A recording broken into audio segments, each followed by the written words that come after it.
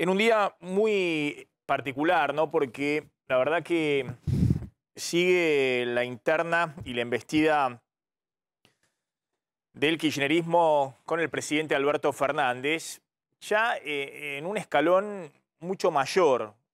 En un rato vamos a contar qué hay detrás de la nueva embestida del kirchnerismo sobre la figura del presidente, el ultimátum que transmite Cristina a través de la Roque, de que renuncien Guzmán, Culfas y Moroni, tres ministros del Gabinete Nacional. El planteo de que eh, el gobierno es nuestro, lo, que dijo la Roque, y la respuesta del presidente, pero fundamentalmente un cuestionamiento que va anticipándose a lo que viene en materia económica y lo que viene en términos electorales. Ahora vamos a analizar con Raúl Timerman. Qué busca Cristina en este momento, qué pretende de Alberto Fernández, teniendo en cuenta que Alberto Fernández, ahora lo van a ver, está abrazado a Martín Guzmán porque está abrazado al Fondo Monetario y al acuerdo con el FMI que lo único que persigue es que no haya una espiralización de la crisis, es decir, que haya cierta estabilidad cambiaria y que eso se mantenga hasta el final de su mandato sin una debacle, es decir, una disparada de la brecha cambiaria y una hiperinflación detrás. Pero esta nueva etapa del cuestionamiento de Cristina a través de La Roque. Ahora van a ver muy fuerte lo que dijo también Sergio Berni, alguien que suele tener juego propio, pero que interpreta muy bien hacia dónde va Cristina.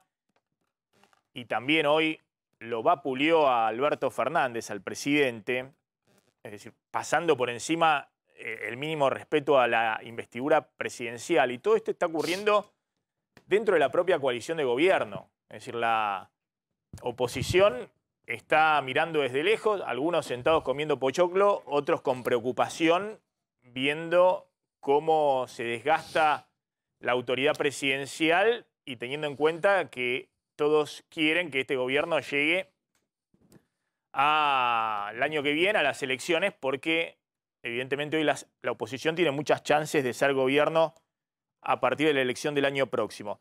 Pero lo que decía es que lo más grave de todo me parece que es el planteo que hizo Cristina, como siempre, tangencialmente, en un tuit que comentamos ayer, a partir de la reunión que había tenido con la mujer del Nobel José Sarmago, acá en, en Buenos Aires, y en un tuit en el cual empieza a cuestionar la legitimidad de gestión del gobierno de Alberto Fernández, que es un poco lo que cuestionan también La Roque, Máximo Kirchner es decir, eh, planteando que Alberto Fernández no está cumpliendo con el mandato de los votos del Frente de Todos, que está traicionando esos votos y que se está deslegitimando en la gestión. Es decir, que ha tenido legitimidad de origen por los votos, porque Cristina lo, lo eligió para la elección del 2019, pero que ahora se está deslegitimando. Repasemos un poquito cuáles han sido eh, las últimas horas las declaraciones de los distintos eh, personajes.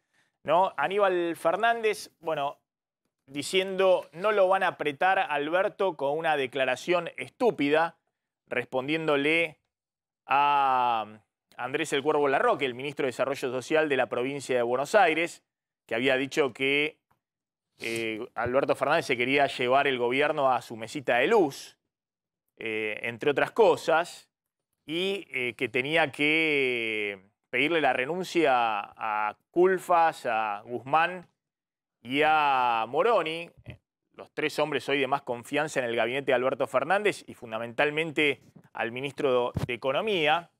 Pero después dice Aníbal Fernández, ahora lo van a ver, si aparece alguien y agravia al presidente, porque efectivamente, como dice Aníbal Fernández, ya el tono de las declaraciones no son un cruce entre dos diputados, sino entre un ministro de la provincia de Buenos Aires y el presidente de la Nación.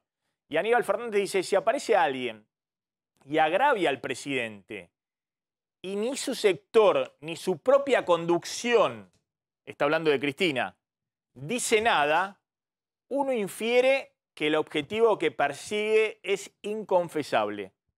Atención con esto, porque pasó desapercibido, pero Aníbal Fernández, que eh, ha sido, digamos, un espadachín de todos los gobiernos, en su momento eh, su prócer en la política ha sido Carlos Corach, eh, digamos, era un admirador de Menem, después ha sido funcionario de Eduardo Duval, de Néstor Kirchner, y después de Cristina Fernández de Kirchner, dice que, y sobre todo en el peronismo, siempre los que están dentro de un mismo espacio deben subordinarse a la figura del presidente de la nación, más allá de que estén de acuerdo o no con el rumbo que toma el presidente de la nación.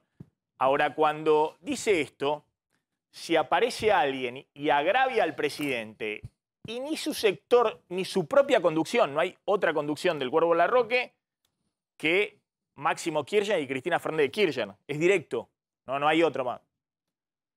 Dicen nada, uno infiere que el objetivo que persigue es inconfesable. Atención con esto, porque se empieza a instalar la idea de que directamente van por Alberto Fernández. Y de hecho lo dijo el propio Aníbal Fernández cuando en una declaración anterior había dicho, le pegan al muñeco, pero directamente el muñeco por Martín Guzmán, así lo dijo textualmente, no lo estoy usando yo ese término, pero el objetivo último es dañar al presidente, a Alberto Fernández. Fíjense cuando eh, Aníbal Fernández dice eso, él ha pasado por los distintos gobiernos, pero siempre ha habido una subordinación al eh, presidente de eh, funcionarios que están obviamente por debajo del presidente.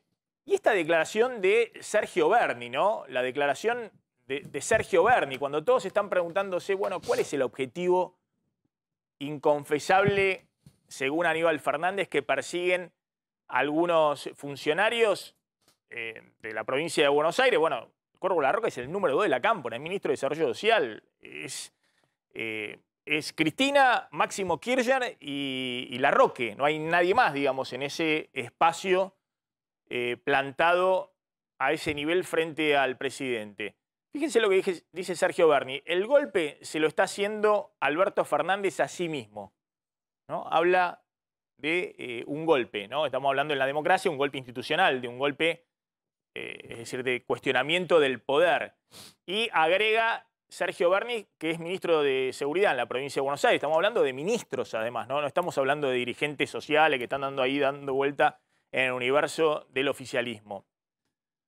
Una cosa es el gobierno y otra cosa es el poder, que se legitima cuando se tiene la credibilidad y el respeto, ¿no? Retomando la frase de Cristina de que efectivamente Alberto Fernández está en su gestión deslegitimando su legitimidad de origen.